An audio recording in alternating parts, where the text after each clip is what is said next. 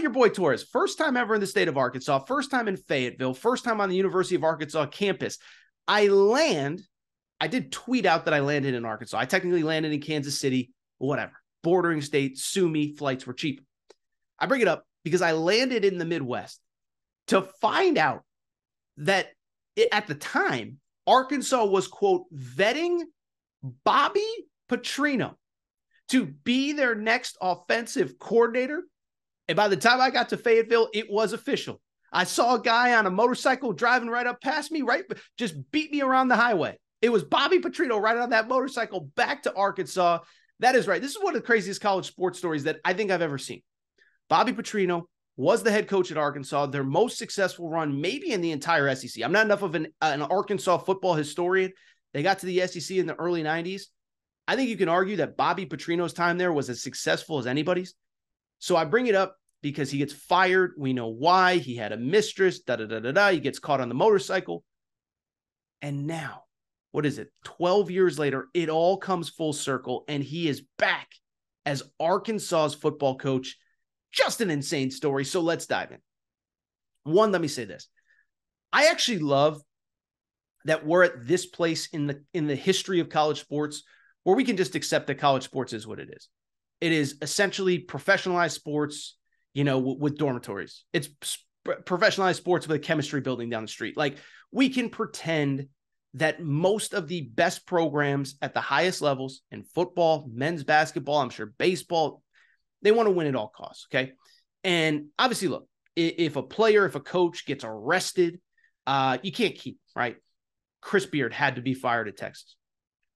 But if your coach or one of your star players is just doing something immorally wrong, like 10 years ago, we had to pretend it was the biggest thing in the world.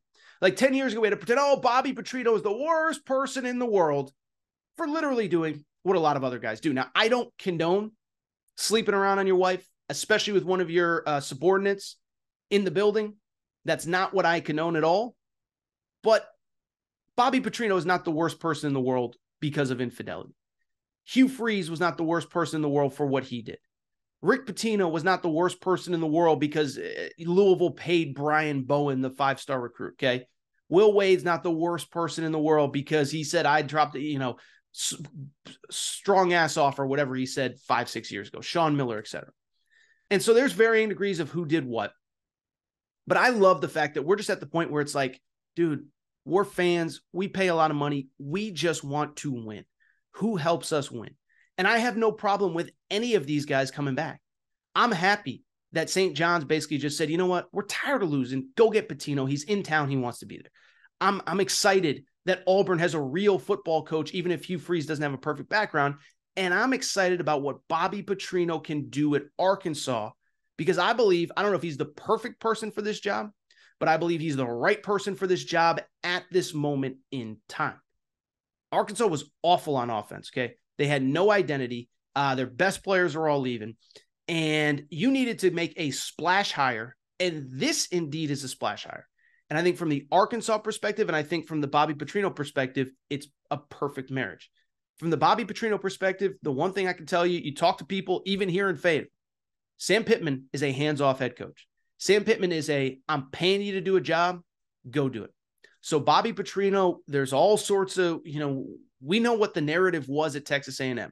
Was Jimbo Fisher really letting Bobby Petrino call plays, or was Bobby Petrino calling Jimbo Fisher's playbook, even if he was technically the offensive coordinator and play caller?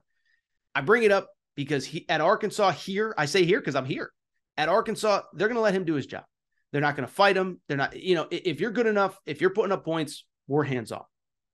From the Arkansas perspective, I also think it's perfect too because the one thing I could tell you is coming into town, I didn't know what the narrative was going to be. It seems universal that everybody's happy that Bobby Petrino is back because I don't think 90, I don't want to say 99. I think there was a percentage of the fan base that found Bobby Petrino's decision making reprehensible. Did cheat on his wife? I'm not trying to undersell that. But I think the vast majority of Arkansas fans were like, yeah, he cheated on his wife, but this guy's winning a ton of football games. And you got to remember, it's easy to forget this now. Remember, Bobby Petrino, his final year at Arkansas, he went 11 and 2 as the head coach at Arkansas. 11 and 2, 2011. Their only losses were to LSU and Alabama, who played in the national championship game that year. And so I bring it up because of the fact that I don't think most Arkansas fans ever wanted Bobby Petrino gone. And because of it, I think that they're happy that they're going to be, that he's back. Lastly, let me just say this. If I was Sam Pittman, I'd sort of be looking over my back because uh, I'm not saying Bobby Petrino's coming back to get the job, but you start one and two, but that offense is humming. I wouldn't be surprised if Bobby Petrino they just make him the head coach. So I, am not saying that that's what happens. You got to think though in the back of his head though, Bobby Petrino was like, I could come back here and who knows? This guy's on the hot seat. He needs the offensive coordinator. My team's putting up points. If my offense putting up points, maybe just maybe I end up with this job full time. Just something to think about. Uh, but Bobby Petrino back at Arkansas, I am so fired up. I think it's great for college sports that we're here, and I'm excited to see how it all goes down.